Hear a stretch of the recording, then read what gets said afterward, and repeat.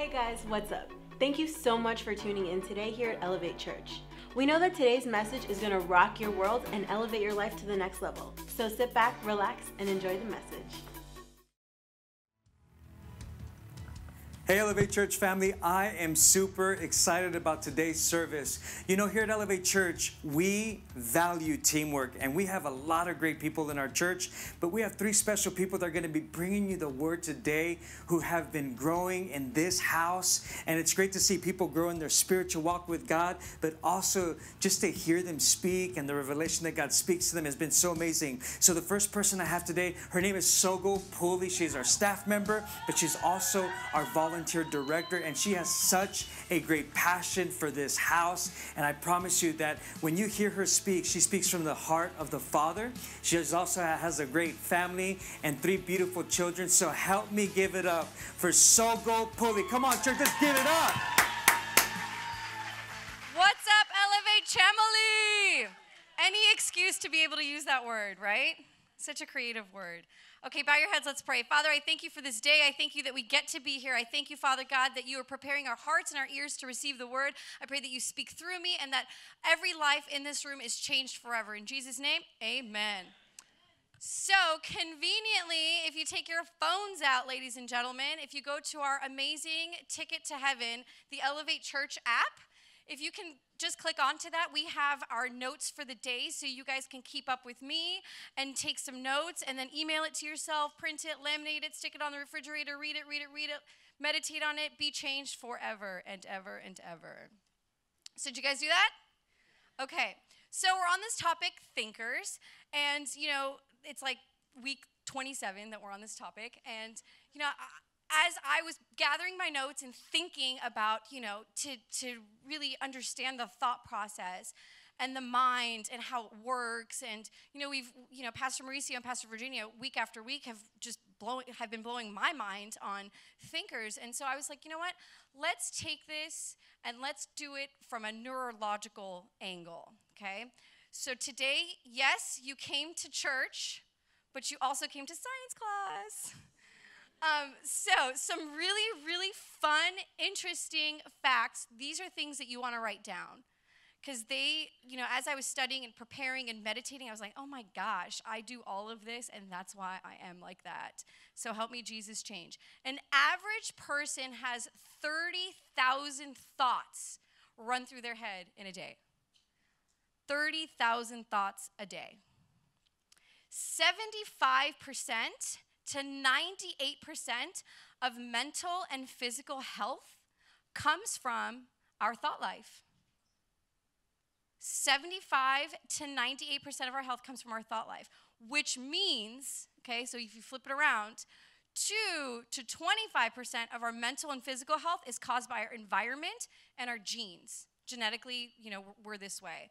And environment, it really just means like, let's say I worked at a nuclear plant and I was there for years and there's something in the air and I breathed it and then 10 years later I got sick. So, but the, the part that's crazy to me is that it says 2 to 25% of our mental and our physical health is caused by our environment and our genes. So now, this basically means that you can no longer say, my grandma was this way, her mom was this way, that's why I'm this way. So you can really, up to 25%, you could really use that excuse. You can only pull that card for just a very short, um, very small percentage. Research shows, okay, this, so this is science and scripture. Research shows that our DNA actually changes shape in the response of our thoughts. So this is a DNA strand, okay? So when I have negative and toxic thinking, okay, this strand, which is my, which is my genetic make, it changes shape. So, based on my thoughts, my negative and toxic thinking, this strand, it shrinks down and it tightens. Crazy, right? And then you wonder, why am I so tired? Why am I in this emotional funk? You have 30,000 thoughts run through your head in a day, and the majority of them are probably negative these jeans don't look good on me. I don't really feel like going to work. Oh my gosh, there's traffic, like all these things. Car show is happening. Should I go? Should I not go? Should I go? Should I not go? All these things are happening. And while that's happening, you're almost setting yourself up to be run down. You're almost setting your physical state to, to, to be exhausted, to be tired. So your DNA strand, it shortens and it tightens. But there's hope. Everybody say there's hope.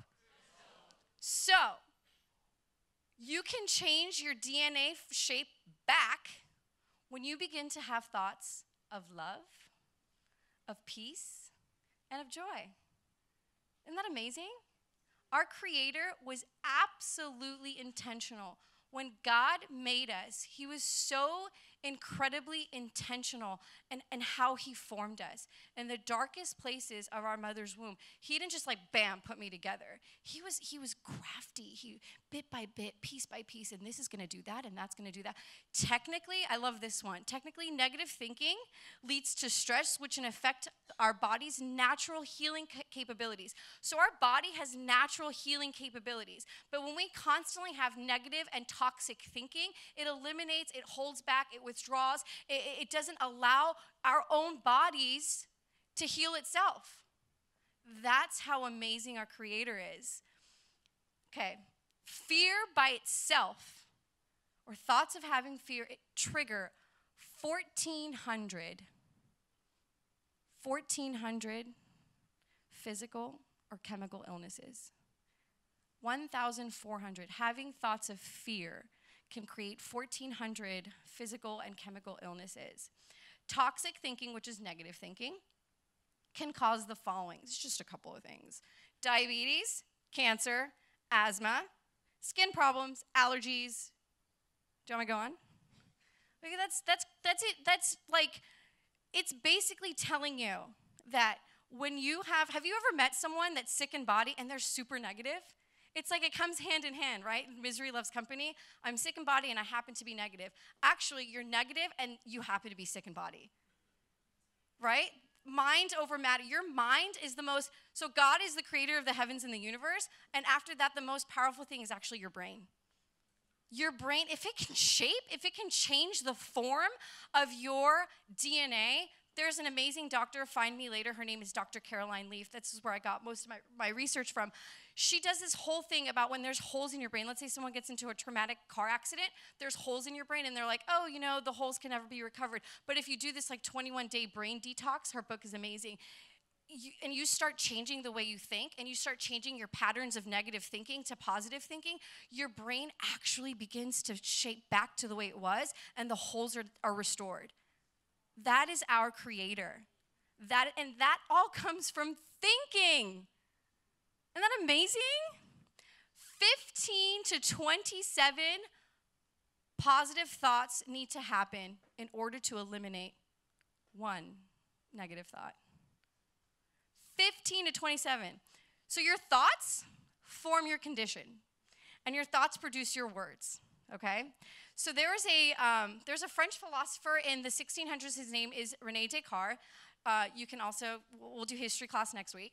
And he he basically came up with this thing that's I think, therefore I am. How many of you heard that saying before? So he's like, okay, if I'm a thinking being, that means I exist. If I, if I, if I have the ability to think, that means I exist. And if you take it deeper, Solomon, okay, Solomon in Proverbs uh, 23, he says, a man for as a man thinks in his heart, then so is he. So even Solomon says, whatever you think, that makes you. Okay, so I'm gonna think, this is my thought, okay? And this thought, it makes me. This is what I become. This is what I am, okay? So my thoughts, they make me.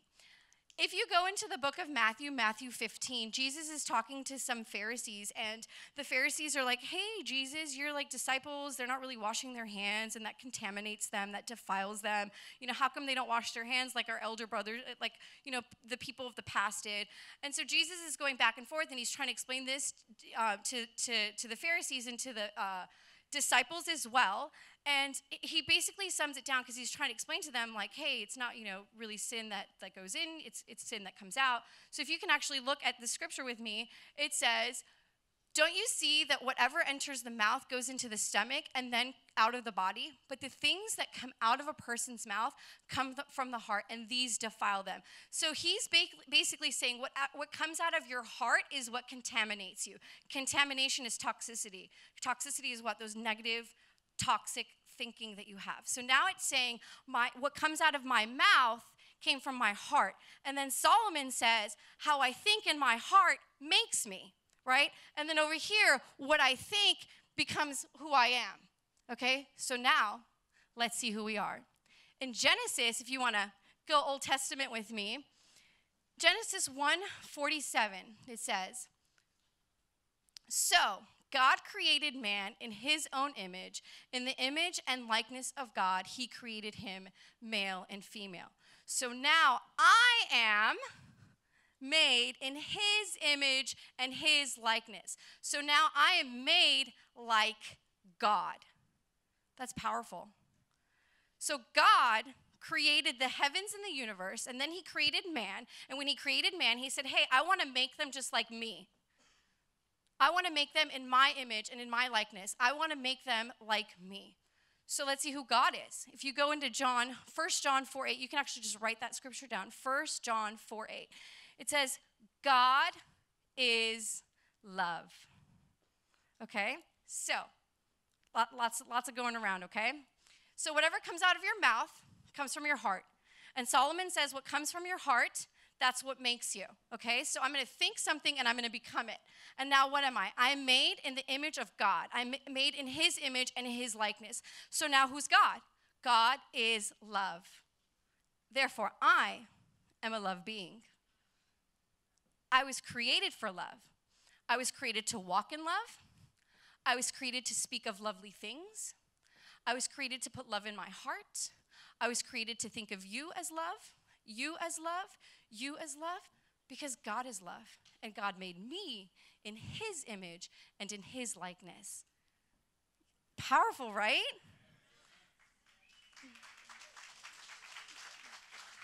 So, if you want to go to your app notes, this is a really good point that I want you to just really grasp if you're going to walk away with anything today. We are created in His image. He is love, therefore, my design is love. My design is not fear, for I've not given you a spirit of fear, right, folks? But one of love, power, and a sound mind. Okay, so when God created me, He created me for love. When God created me, He, he created me so lovely. And, and uh, David says in Psalm 139 For you have fearfully and wonderfully made me. I was wonderfully created. You were wonderfully created. Our Maker is so amazing, and our make is so amazing. Our design is amazing. My design is love. My de- your design is love. So, do another recap. God, He made me. He is love. Therefore, I am love. Now, let's see what God calls me. And these are the things that you should be thinking of. This is how you should be thinking every day. You should not be thinking toxic thoughts. Toxic thoughts are going to keep you, they're going to delay you from a promise, they're going to hold you back from the truth, they're going to just ruin your day, ruin your relationships, ruin your destiny. All it's just going to hold you back. It is so incredibly unproductive. Everybody say unproductive. And we all want to be productive beings, right? Because love is productive. Yes, love casts out a multitude of sins. Love changes the world. Love is outside Pupusa fundraiser because we so love, we so love the children of God, even the ones that don't have in Oaxaca, Mexico. So this is what he says. He calls me. John 15, 15, he calls me friend. 1 Thessalonians 1, 4, he calls me chosen. Ephesians 2, 10, he calls me his workmanship, his art. He says that I am handmade, that I am purposed and fashioned for good things. 1 Corinthians 6, 19, he calls our bodies a temple, the residence of the Holy Spirit.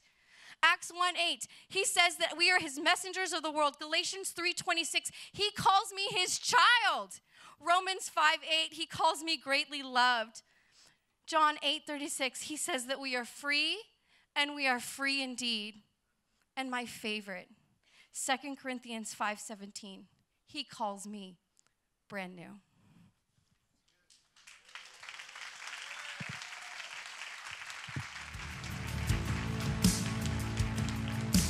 Come on, was that a great word? We are so proud of you, Sogol. Keep it up, girl. The next person is my favorite. I'm sorry, but she is. And it's my very own daughter, Alexis Ruiz. And let me tell you something. She is a part of our administration team, our worship team. And I just love seeing what God has been doing in my girl. And uh, today you get to hear from her. I know you're going to be encouraged. So help me give it up for Alexis Ruiz. Come on. Like that, huh? Just kidding. That's my daddy. All right. Okay, let me get myself started. You know, I love what Sogol said. She said, We are created in the image and the likeness of our God. But I ask you this is that a core belief that we live on? Because what a core belief is, is basically what our thinking is made up of. It's our default. What are you going back to when things are getting tough? And so I have asked myself these questions. I'm definitely not holier than thou, so let's see if we relate here.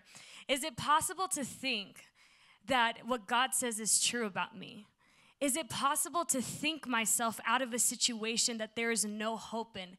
Is it possible to bounce back and to live again when people mock you, when they mistreat you, when they judge you, when they betray you, or when you have done the betraying? Is it possible? And today I'm here to say, yes, yes, it is possible. Anything is possible with our God. And there's a man in the Bible that have every right and valid reason to fall victim to his situation, to allow every pain and setback affect the way he thought. But you know what he did? Instead, he chose to think, to set his heart and his mind on the promises of God. And that man is good old Joe, Joseph in the Bible. If you have not read it, I'm about to give you a snapshot. So read your Bible. Number two, go rent Disney's Joseph. So good. So good. All right, so a little background on little Joe. So Joseph is a son of Jacob and Rachel, right? Jacob was the son of Isaac, Abraham, Isaac, Jacob, and he had 10 older brothers, and he was the young little bratty brother. And so here's a little snapshot of his life. So God's hand was always upon his family, but number one, he came from a dysfunctional family. His dad favored him over all his brothers, and his brothers hated his guts. And I get it because I have a little brother, and I'm like, just Ugh, sometimes. But his brothers hated him so much so that it went from hatred to, to betrayal. See, Joseph had something special that God had placed in him, and he was able to interpret dreams. He was able to have dreams, and they hated that. And so what happened? The brothers decide to betray him. And how they do that? They concocted a plan to put Joseph in a pit, throw him in the pit at 17 years of age, and leave him there. Tell the dad, your son is dead. Okay, that's, that's a lot of hate. And they decide to go even further. You know what?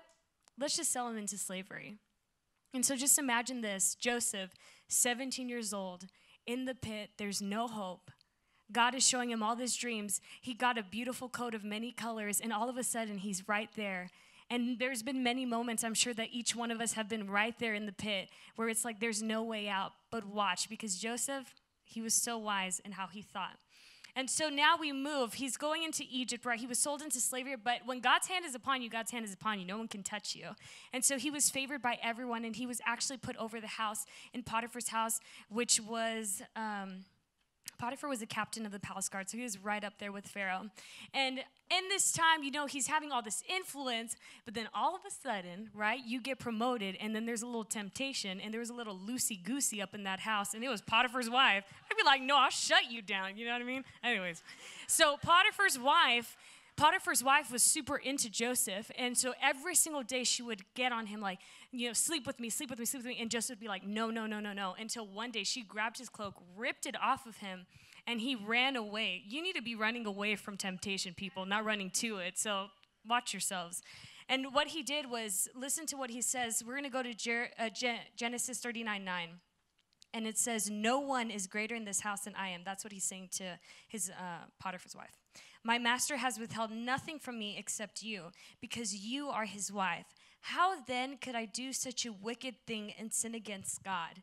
Notice this. His first thought is not, you know, will I get in trouble? What will Potiphar think if I just give her a little kiss on the cheek? He's that's like not even his thoughts. His thought is, how can I sin against my God? Joseph, who has been betrayed, beat up, beat down, and he still wants to live for God, that is amazing and it's possible. You see, Joseph is not some superhero, he's not some superman. These people in the Bible aren't fake, they're real and they're just like us. And I said the first service, but we have good clothes, we're cute. So that was what's in was was in his heart. And so after that, unfortunately, you would think I passed the test, but he gets wrongfully accused. He goes into prison. He meets two of uh, Pharaoh's servants, a cupbearer and a baker. He, they have this dream. Joseph interprets, right? God has already given him a gift, and he tells them, do not forget about me. And you know what these fools do? They forget about him, and Joseph's in prison for two more years. Two more years. It's like one thing after another. And you see, in those moments, Joseph could have chosen to just walk away from God, but he didn't. And that's where we're going to go to Deuteronomy 30 19, because I believe this is what Joseph lived. And he said, This day, I call the heavens and the earth as witness against you, that I have set before you life and death, blessings and curses. Now choose life so that you and your children may live. And every single time we live out this life until Jesus comes back, you will always be presented with two choices life and death. There is no gray area, there is no wavering. Wavering actually puts you even more in the danger zone. Let your yes be yes. Choose life. God is with you, He is for you, He won't leave you. And so that's what Joseph did. And so I encourage you if you're in a place where you have to make a decision, let your yes be yes and your no be no, and allow the Holy Spirit to lead you as you do that. And so Joseph didn't come to this conclusion overnight. No, it was day by day, moment by moment. When he was sitting there in the prison, nothing else to do, he chose every single day to keep his heart, to keep his mind right before God. And so later on, Pharaoh has this dream. No one can interpret it. And then you know, little homie finally remembers. He's like, Oh, I remember Joseph. And so Joseph comes out, he interprets the dream, and God again shows favor on his life. And so now he's put even in more charge. He's now the chief steward over Pharaoh's palace. So he's up there with him. And then you think, like, yay, everything's good. The story has already finished. But then his lovely brothers come back into his life because they need food. There's a famine going on during this time. And isn't it so funny how when you think you're doing so good after so many years and all of a sudden your past wants to pop up back up and it's like, I thought I dealt with you like 20 years ago or a year ago or even a week ago and it just keeps on coming up. But watch what he does. He forgives his brothers and he weeps with them. And this is what I want you to get today. Do not be afraid to face what has taken place in your life. I understand there's a difference between drama and trauma. But it doesn't matter what it is, you need to face what has taken place in your life. This doesn't mean you dwell in your past, but this means that you confront things. Do not suppress, do not uh, repress your emotions, your thoughts, your feelings, because God wants to take you on a journey of full healing, of full restoration. And that's what Joseph did. He allowed God in every single moment, in every single pitfall, to be with him so he could address his emotions, so he could address his feelings, so he could address his thinking. And this is what happens after that. So he forgives them, they weep, and then Pharaoh's like, you know what? Bring your family, give them the best of Egypt. And if we remember, Deuteronomy 30 19 says, so that you and your children may live. Because when you make a choice, I'm telling you, it's a ripple effect for your generation. It's a ripple effect for your children, your children's children, your great grandchildren. And for parents who are in here, it is so vital and it is so important to train up your child. They see what you're doing, they hear how you're talking. I'm literally like, a split between my mom and dad because I've been watching them ever since a child. And now I can confidently say, by the grace of God, that my brother and I love the Lord because we saw what they chose in their thinking. And so, if it's not too late to choose that. And so, restoration not only hit his family, but also there was great prosperity for them. And so, the main point I want to tell you is you want, if you want to make it to the palace, the decision begins when you're in the pit. If you want to make it to your promise, your decision starts now when all hell is breaking loose. This is when it matters. This is when it counts. And our thoughts, just like Sogol said, literally change the makeup of our brain. It changes our DNA. And so, why not change our thoughts to be back to its formal design, which was I'm created in the image of God and in his likeness, and I can do all things through Christ Jesus. And so, we are overcomers who are not ashamed or afraid to face things and process things. And then the last scripture I want to leave with you is Genesis 50 20, and it's my favorite. And it says, You intended to harm me, but God intended it for good to accomplish what is now being done, the saving of many lives. I love the scripture. I want to get it tattooed right here on my forehead because this is a scripture that we have scriptures my family and I stand on, but this is a scripture that I have chosen to stand on as a woman of the Lord. Because as me and my family are choosing to choose him and to think higher and to do whatever God has called us to do, it has come with so many pitfalls. It has come with so many battles. It has come with so many things where you feel like, God, why did you leave? But here's the deal God has never left. So what I do is I look at whatever, I picture the devil and I'm like, I look at him and I'm like, you intended to harm me, but God intended it to save many lives. And every single time I come to church on a Sunday, every single time I come to church on a Wednesday, every single time there's devoted, every single time there's Elevate Men, every single time there's Oaxaca Kids, every single time there's a fundraiser, I know that the saving of many lives is already taking place and there are so many more lives to take place. So I'm charging you today to be willing to change your thinking because there is such a great reward. You are only one thought away from your destiny.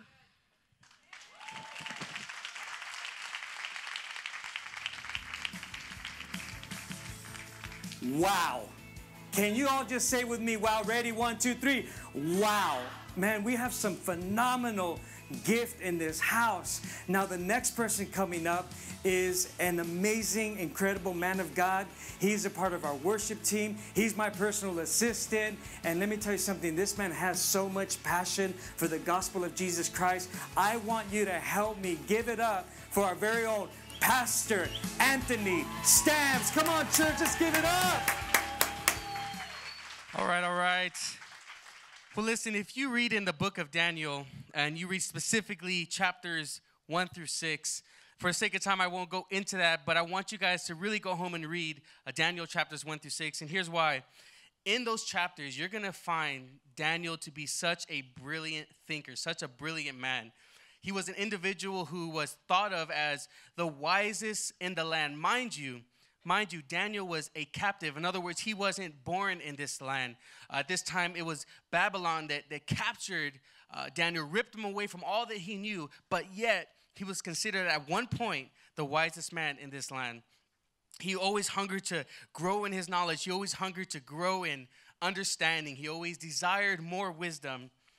However, as brilliant as Daniel was and as respected as he was, he challenged, he, he faced a challenge that seemed to never go away and never and never minimized in his life. And, and I believe this is the challenge that we all face, even to this day.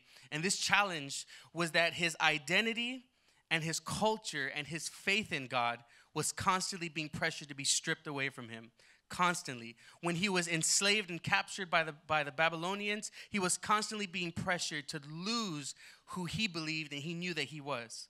And that's a challenge that I believe, look, we, we face that no matter what your job is, no matter what your culture background is, but you're constantly being in a position where your identity is being pressured to be ripped away, where your faith, all that you believe, all that you have learned, all that you have grown to know in God is constantly being under pressure to be stripped away. That's the society we're in today. But listen, but as challenged as Daniel was, as much as he faced this challenge, the one thing that separated him from everyone else was that his environment may have been chaotic on the outside. His environment may have been pressuring around him. Everything that surrounded him gave him every reason to quit and give up and, and, and surrender his identity. But yet it was it was one thing that didn't have any kind of power over his mind. In fact, just the opposite Daniel's frame of mind is the very thing that influenced four kings to change the culture of that nation.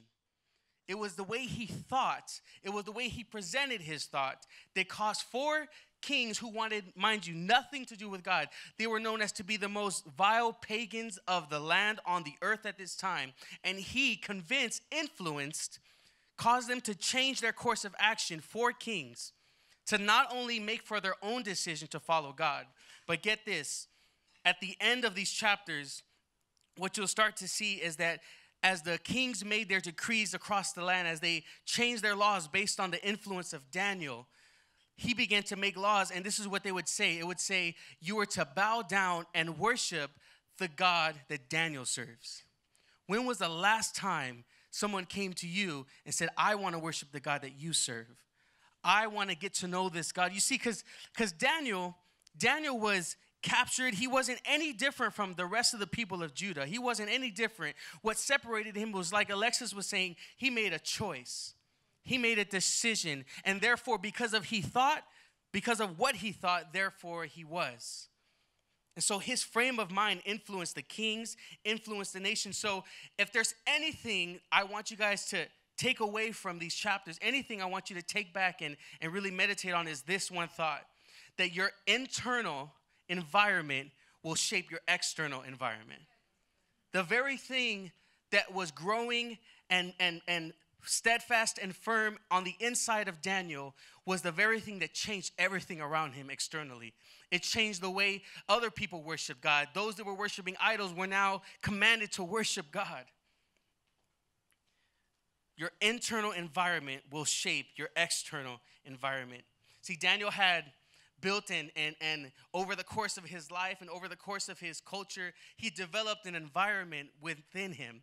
This environment consisted of his belief in God, it consisted of his loyalty to God, and it consisted of his faithfulness to want faithfully serve God. And so he developed this internal environment, this internal set of components that caused him to constantly think of God. His mind, his will, and emotions were centered around God internally. And it was his desire to honor this environment inside of him.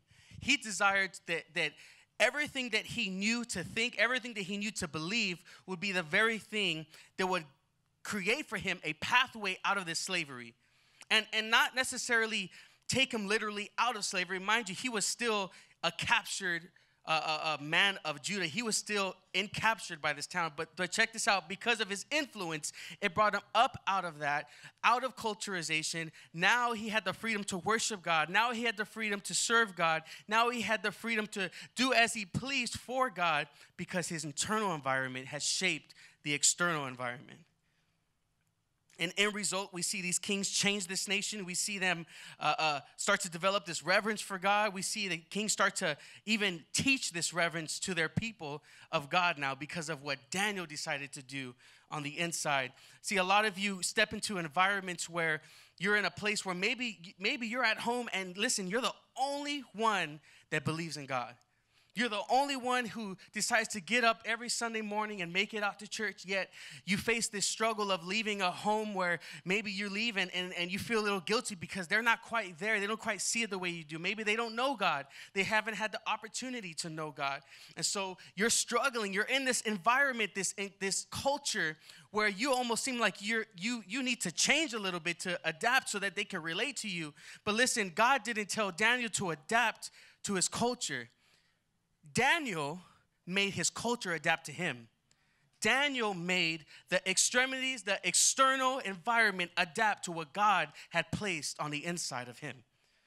And so the Bible warns us of, of, of falling into a place where you allow the culture to, uh, to adapt. You adapt to the culture. You allow the culture to shape you and mold you. The Bible warns us of it, but just as it warns us, it also provides us some knowledge on how to get out. And so I want to share that with you in Romans chapter 12, verse 2, listen to what it says. And I'm going to read this out of the message version because I think it's really awesome and it paints a really cool picture and it reminds me of Daniel. Check it out. It says, Don't become so well adjusted to your culture that you fit into. Don't get so well adjusted to it. Don't get comfortable. Don't sit back and accept it. Don't say, Well, it is what it is. Well, I just have to and don't fit into it without even thinking. Instead, fix your attention on God. You'll be changed. Look, look at this. You'll be changed from the internal to the external. You'll be changed. In other words, what's the change that people will begin to see on the outside of you, that external environment, is because of the change that already happened internally is because of the decisions you already made to make these adjustments within your mind, within your will, within your emotions. And so you'll begin to be changed from the inside on out. Readily recognize what He wants from you and quickly respond to it. Unlike the culture that's around you, right? Always dragging you down, right? If you don't fit in, and you, are not cool, uh, you don't belong. Uh, if you can't follow the culture, you don't know what's up, you don't know what's going on. And listen, it's saying, look, readily recognize what he wants from you. Unlike the culture around you, always dragging you down to its level of immaturity, God brings the best out of you, and he develops well formed maturity in you. So, my question to, to all of us here today is how, how would we allow God to draw the best out of us if we're not willing to invest the best within us? And what I mean by that is God has given us tools. He's given us His Word, which has not only painted a picture of how we need to live, but has given us uh, uh, uh escape routes out of falling victim to succumbing to the culture that we're surrounded by. And I believe that God has designed each and every person with the best in mind. And if He designed you with the best in mind, that means it's only up to us to now tap into that best and allow Him to draw it out. See, at first it may seem a little immature. At first it may seem a little newbornish, for lack of better word. It may seem a little like you're still trying to get a hold of how do I stand up as a Christian? How do I stand up in the middle of my environment? How do I stand up and stand out even though I know I look foolish at times, even though they may not even accept me what I have to say? How do I do that? How do I do that? You may also come up with a challenge to yourself like, you know what? Uh, to make it easier on myself, I'm gonna create a wall and I'm going to create a wall around myself and around the environment in. But God never asked Daniel to create a wall in his environment. In fact, he was asked to be interjected into this environment. He was injected into the very DNA of the very thing that call themselves enemies of God. So we think we have it bad when we step into work and we hear crazy cuss words and we see all this wild behavior and we think we have it. This guy was enslaved and forced to worship idols, but yet he refused to let his internal environment be adjusted. And so I'm challenging you today, church. I'm challenging you that as we as we continue on this week and we step out, you know, we've been hearing about this thinker series and how to think a little bit differently. And if we can only just think higher, think greater, I'm gonna challenge you to think a little deeper today. And as you walk out of this place and you walk into an external environment of chaos, maybe it's in your home today, maybe it's at your workplace, maybe it's right outside these doors, but you're gonna be faced with an environment that looks nothing like what's on the inside of you.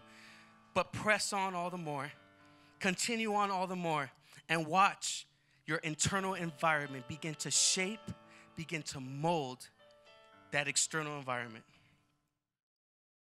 If today's message impacted you in any way and you want to help us spread the gospel with a financial gift, text the number below and we know that someone's life will be changed the same way that yours was today.